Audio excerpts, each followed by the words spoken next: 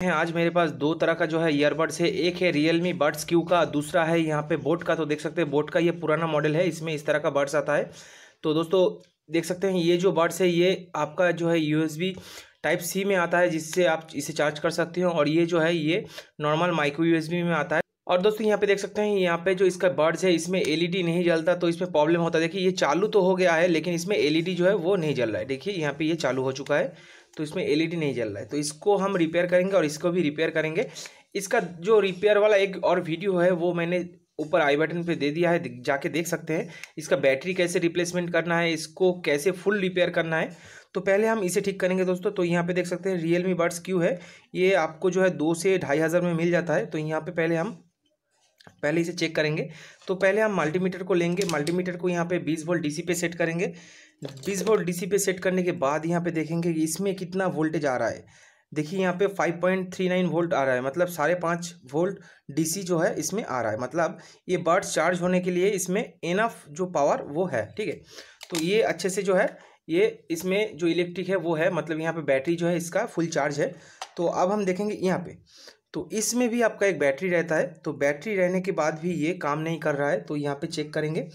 तो पहले आपको दोनों जो यहाँ पे पिन है, देख सकते हैं यहाँ पे छोटे छोटे दो, दोनों पिन है यहाँ पे, ये वाला पिन इसे साफ़ करना है। तो इस तरह का ट्विज़र लेना है ट्विज़र लेके यहाँ पे देख सकते हैं यहाँ पे कॉपर का जो प्लेट है, इसे अच्छे से आपको घिसना है, क्योंकि ज़्यादातर जो बर्ड्स होता है, इसमें आपका जो है कार्बन गिर जाता है, जिससे आपका ये कनेक्टिविटी अच्छे से नहीं होता, ठीक है? तो यहाँ पे अच्छे से आपको घिस लेना है। यहाँ पे घिसने के बाद ही आपको इसे क्लीन करके यहाँ पे चार्जिंग पे बिठाना है, ठीक है? उसके बाद यहाँ पे देख सकते हैं दूसरा पॉइंट है, इसको भी आपको अच्छे से साफ़ कर लेना है, ठीक है? अच्छे से साफ़ कर लेने के बाद यहाँ पे देख सकते हैं दो पिन है, यहाँ पे। इन जितना भी बर्ड्स होता है, जितना भी तरह का बर्ड्स होता है, उसमें सेम होता है। ये कॉपर का पिन जो है यहाँ पे और यहाँ पे ये दोनों से टच होने पर ये वाला जो आपका जो कान का बर्ड्स है, ये चार्ज होता है। तो यहाँ पे देख सकते हैं, इसमें भी दो पिन दिया हुआ है, ये इसके साथ टच होता है। तो यहाँ पे पतला सा इस तरह का जो देख सकते हैं सैंड पेपर है। सैंड पेपर से भी घिस सकते हैं। या तो इस तरह से आपको सेल्ट पेपर को जो है लेना होगा। लेने के बाद यहाँ पे थोड़ा सा इस तरह से देख सकते हैं, इस तरह से आपको यहाँ पे थोड़ा थोड़ा करके घिसना होगा, ठीक है? ज़्यादा घिसने की ज़रूरत नहीं है, सिर्फ़ ऊपर में थोड़ा सा घिसना होगा आपको, ताकि इसका जो ऊपर में जो कार्बन जमा हुआ है, वो क्लीन हो जाए, ठीक है? तो इस तरह से थोड़ा सा घिसने के बाद आपको देखना है कि ये थोड़ा चमकीला हुआ है कि नहीं? तो देखिए, ये चमक रहा है तो यहाँ पे तो इसे यहाँ पे चार्ज पे लगा देना है, ठीक है?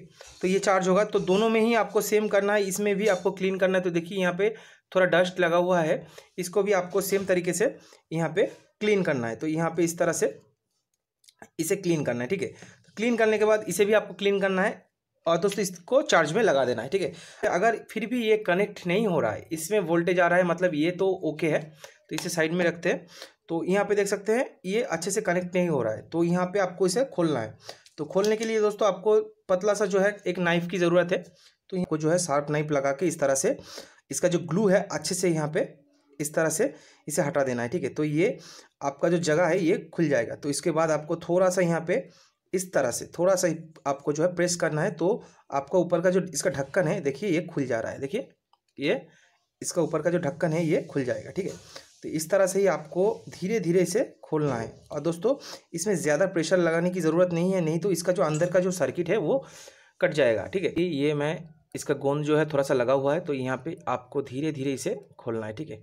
तो देख सकते हैं, यहाँ पे इसका सर्किट पूरी तरह से आपको दिख जाएगा तो देखिए, ये रहा इसका सर्किट। और यहाँ पे देख सकते हैं, टच वाला जो सेंसर होता है, वो यहाँ पे लगा हुआ होता है। तो देखिए, ये वाला ये वाला जो सेंसर रहता है, ये आपको अच्छे से एक बार और दिखा देते हैं थोड़ा सा जूम करके। तो देखिए दोस्तों, यहाँ पे ये वाला जो सेंसर होता है, देख सकते हैं, ये थोड़ा सा उठा हुआ है, ये वाला। तो ये वाला सेंसर जो है, ये इसके साथ लगा रहता है, ठीक है? ये वाला प्लेट के साथ। तो जब इसके साथ टच होता है तो इसके साथ भी टच होता है, ठीक है? तो इसे पहले हम हटाएँगे तो देखिए ये इधर है। तो उसके बाद आपको यहाँ पे चेक करना है कि बैटरी कहाँ पर है? तो बैटरी इसके नीचे है। दूसरा जो हमारा डिवाइस होता है बैटरी कभी कभी जो है, इसको ऊपर भी होता है। तो यहाँ पे जो है, इसका नीचे ही बैटरी है। तो यहाँ पे थोड़ा सा प्रेस करके आपको इसका जो सर्किट है, इसे उठाना है। थोड़ा थोड़ा करके प्रेस करके इसका जो सर्किट है, इसे उठाना है, ठीक है? तो देखिए दोस्तों, मैंने यहाँ पे थोड़ा सा थोड़ा सा करके इसमें प्रेस करके इसका सर्किट जो है, ऊपर उठा दिया है। तो देखिए दोस्तों, ये ऊपर आ गया है। तो यहाँ पे इसे आपको इस तरह से, देखिए, इस तरह से आपको यहाँ पे इसे घुमा के ये बैटरी देखना है। और दोस्तों, ये जो बैटरी है, ये आपका जो है थ्री पॉइंट सेवन वोल्ट का बैटरी है। तो दोस्तों, यहाँ पे आपको जो है मल्टीमीटर से चेक करना है कि इसमें कितना वोल्टेज आ रहा है, ठीक है? तो यहाँ पे चलिए दोस्तों चेक कर लेते हैं। तो यहाँ पे इसे रखते हैं। रखने के बाद आपको मल्टीमीटर को जो है बीस वोल्ट डीसी पे सेट करना है। तो देखिए, मैंने यहाँ पे बीस वोल्ट डीसी पे सेट किया है। उसके बाद यहाँ पे दोस्तों, आपको ये दोनों प्रॉप जो है यहाँ पे लगाना है, ठीक है? तो यहाँ पे आपका मिनिमम जो वोल्टेज है वो थ्री पॉइंट सेवन वोल्ट या फोर वोल्ट आना चाहिए, ठीक है? तो देखिए दोस्तों, यहाँ पे four point two five volt मतलब इसमें जो है पावर है। तो बैटरी तो हमने चेक कर लिया बैटरी जो है वो ओके है, अभी ऑयल कंडीशन में है। देखिए, बैटरी जो है वो फूला नहीं है। तो अब हम चेक करेंगे तो यहाँ पे जो चेक करना है वो है हमारा स्पीकर तो देखिए, यहाँ पे स्पीकर लगा हुआ होता है तो यहाँ पे देख सकते हैं, एक स्पीकर लगा हुआ होता है। स्पीकर का जो कनेक्शन है, वो स्पीकर का कनेक्शन यहाँ पर है, देख सकते हैं। ये रेड वाला जो देख सकते हैं कनेक्शन है रेड एंड ब्लैक ये वाला स्पीकर के साथ है।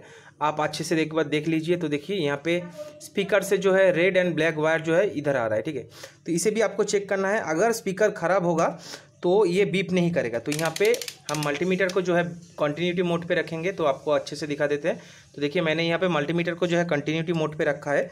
अब हम यहाँ पे स्पीकर चेक करेंगे। तो स्पीकर में अगर अगर कंटिन्यूटी मोड में आपको बीप होगा तो मतलब स्पीकर ठीक है ठीक है? तो यहाँ पे हम टच करेंगे। तो यहाँ पे बीप होना चाहिए। तो देखिए दोस्तों, यहाँ पे बीप हो रहा है, ठीक है? पंद्रह ओहम आ रहा है बीप हो रहा है। मतलब हमारा जो स्पीकर है, वो ऑयल एंड गुड कंडीशन में है, ठीक है? आपको एक चीज़ और ध्यान रखना है। यहाँ पे देख सकते हैं, जो दोनों पिन होता है टच सेंसर वाला पिन यहाँ पे जिसके साथ टच होता है तो इसे थोड़ा सा उठा देना है, ऊपर की ओर कर देना है, नहीं तो इसके साथ अगर टच नहीं होगा तो आपका ये जो डिवाइस है, ये चालू ही नहीं होता, ठीक है? तो यहाँ पर अच्छे से इसका ख्याल रखना है, ताकि इसके साथ ये टच होके रहेगा, ठीक है? तो देखिए यहाँ पे ये जो सेंसर है, ये इसके साथ टच होता है। तो देखिए, देख सकते हैं, यहाँ पे दो जो प्लेट है, इसके साथ ये वाला सेंसर जो है टच होता है।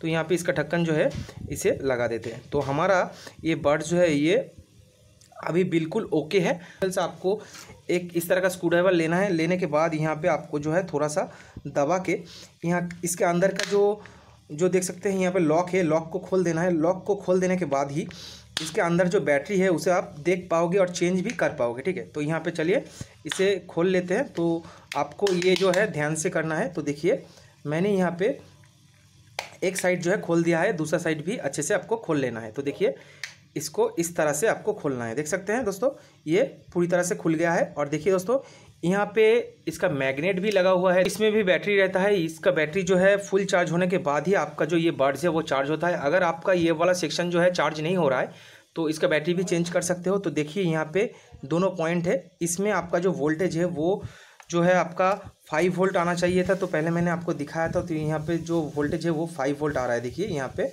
इसका जो वोल्टेज है वो फाइव वोल्ट आ रहा है, ठीक है?